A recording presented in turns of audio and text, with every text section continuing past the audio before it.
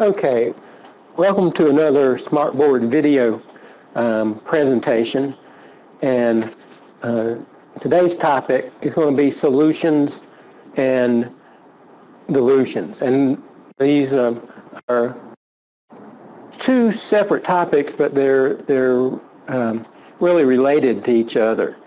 And so I'm uh, actually, I think what I'm going to do is actually divide this up into two videos.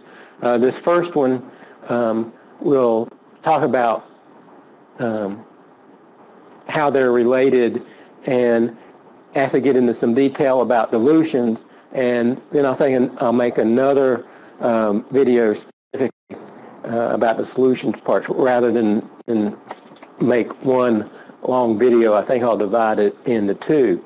Um, but the topic of solutions and dilutions in, in um, basic lab techniques course um, is actually a very key skill.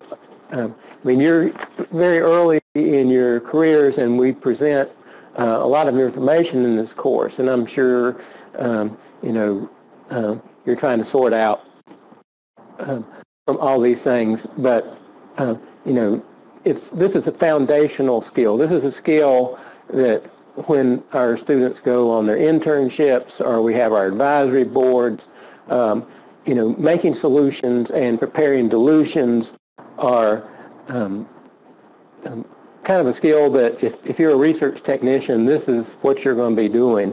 So it's um, key that um, you get a good understanding of this. So you know, make sure as you go through this, you know, don't just whiz through it. Make sure that at the end of the day, and particularly at, by the end of the course, that you feel comfortable with your understanding of what's going on with making up solutions uh, and preparing dilutions. So let's look at some definitions. And the first one we'll put up here is concentration. And the concentration is notion it kind of ties the solutions and dilutions together. So what is our definition of concentration in terms of a, a chemistry application? And um, the first one, we're going to say it's the strength of a solution.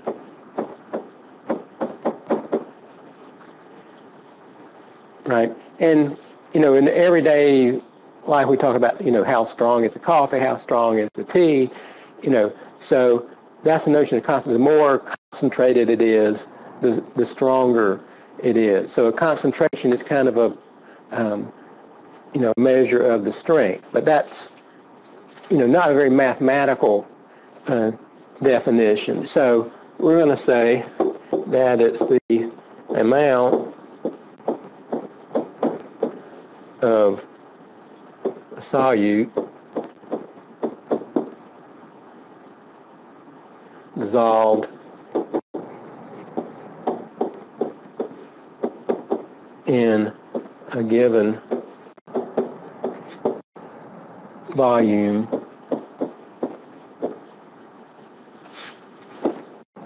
Of solvent. And here again, the notion of solvent, you know, in most of the labs that we're doing in, in um, biological systems, that solvent is going to be water in our aqueous systems, but it might well be, uh, say, alcohol. We see a number of, say, solutions of ethanol or methanol where those um, are the are the solvent. But so it's the amount of the solute which is dissolved in a given volume of solvent. So the more of the solute that's dissolved in a given volume, then the higher the concentration would be. There are various ways that we write the um, concentration um, um, solutions. You know, you've been working problems that show that probably the most used is being inflamolarity. Um, another pretty common one would be what we call how much mass to volume, and so you might have something like milligrams per mil, right? So that would be mass to volume. You might have grams per liter, right? So um, that would um, tell you a, a, type of concentration. Uh, another thing we looked at are percents. Okay. What's the percent concentration? And another one that's maybe not as frequently used, but you'll see, is the term X. So you might see a solution, this is a 50X solution. Or we'd say this is a 58 concentrate. So if you had a 50X solution, you would tend to dilute that 1 to 50, 50-fold to be down to 1X. Now the problem with the X thing is that has to be related to something. The molarity, the, the whole, you know, the mass, the volume, and the percents uh, are um, uh, based on um, masses that um, uh, are fine. If you have something that's where they tell you this is a, some X solution, somewhere you have to have a recipe or a reference to what the 1X is. But I bring that up because it is something we'll see um, in uh, some of the experiments you'll get in the program. You'll find some what we call stock solutions that are made at a higher concentration would be used at so that we dilute them to the working strength. So there's that term dilution. We took a 50x solution and we did a dilution to bring it to working strength. So all these things are related and they're tied together by the notion of concentration. So now, solution. What's going to be our definition of a solution? We're going to say that a solution is a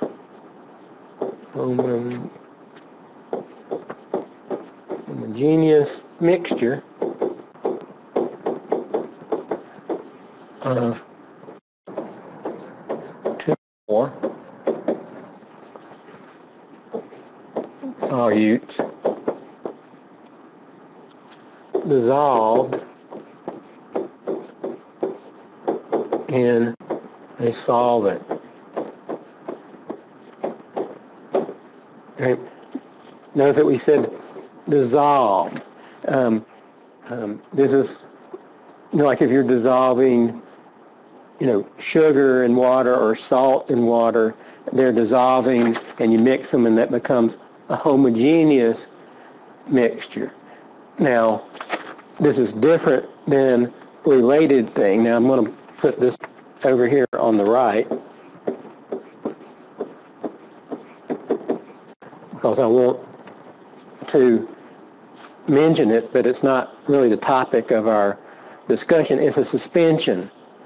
Okay? A suspension is um, a mixture where the um, um, solutes, in this case, would be dispersed um, in um, um, in the in the solvent per se. This would be, um, and it doesn't have to be liquid. Dust in the air is a suspension. Um, when it rains and you see the Yadkin River turn red because of the red clay that is suspended in the water. It's been, you know, it's been the force of the current has suspended it from the bottom. If it were to become still again, you know, when the, then that clay would not would settle back out. So it's not dissolved in there, it's suspended. And so you've probably had medicines that said it was an oral suspension, right? And it said you're going to have to shake it before you use it because there's probably something in there that has settled um, to the bottom that's not dissolved, but it's just suspended. So you're going to have to resuspend it to get it mixed before you take it. Otherwise, you would take the medicine off the top and not get the stuff that had settled to the bottom. So um, there, there are times in the lab when you uh, make things that are suspension, but what we're going to be concentrating mostly are solutions, and our definition is there again, a homogeneous mixture of two or more solvents that are actually dissolved in a solvent.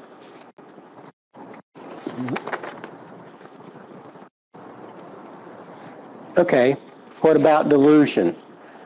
Um, our dilution, our definition of dilution is going to be increasing the proportion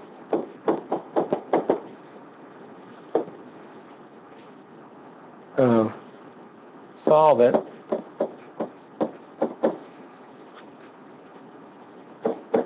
to solute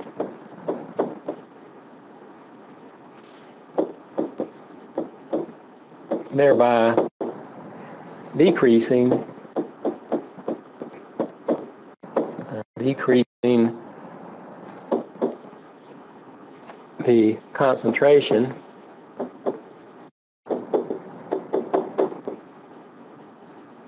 of solute per volume.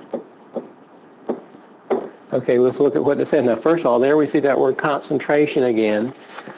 So um, we're going to say we're going to increase the proportion of the solvent to the solute. Okay, so what we're talking about that um, um, um, uh,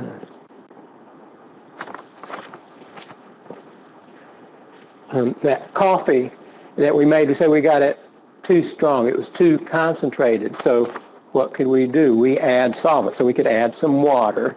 So that would increase the proportion of the solvent water to the solute. And then thereby decreasing the concentration of solute per volume. Now we added some volume, but the concentration per volume of the solute was decreased. So we diluted it out, right? By, in the case of the coffee, we added some water to dilute it. So we were decreasing the concentration by adding solvent. So that's the notion of dilution. So let us start our a conversation about dilutions. And the information that I'm going to be talking about can be found in your referenced um, pages or in the in your Seidman text, or there's some of this information that's on the dilutions lab um, that, that you're doing in the, in the lab. So um, that information is kind of in that kind of preamble um, to that dilutions lab. And, you know, the, one of the difficulties in, in dilutions is in the way that they're presented in um, procedures that you're following, and there's a lot of different um, um, ways that people refer to the way they do dilutions, and so you have to be careful that you understand what they mean. Um, and sometimes that's difficult, uh, you know, unless you have the context that they're working from. Um, you know, so, you know, I said there in the lab, the first rule in making dilutions is to read the procedures carefully so that you understand what it's saying. I said, for example, if the instruction one mil diluted to 50 mils is not the same as one added to 50 mils. You know, 1 to 50 mils diluted to indicates that your final volume is going to be 50 mils. So you're essentially going to have one mil that you're going to have to add 49 mils to get it to 50 mils. Where if you said one mil added to 50 mils, you know, it's going to be 1 plus 50, which is going to give you 51 mils, right? So those are similar sounding things, but they're not, they don't mean the same thing. So there are a variety of ways of people uh, speak about it, and unfortunately, these can be confusing.